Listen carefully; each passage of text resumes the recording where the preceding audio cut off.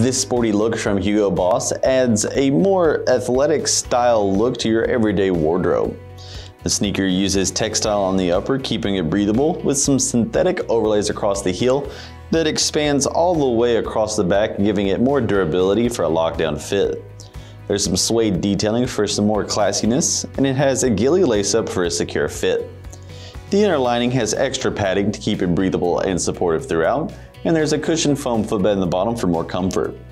It does use a bit of a wider fit for more room to move, and the EVA layer underneath is going to give it rebounding cushioning and shock absorption. The outsole is a sturdy synthetic rubber giving it lots of grip and it has just a bit of flex there in the toe.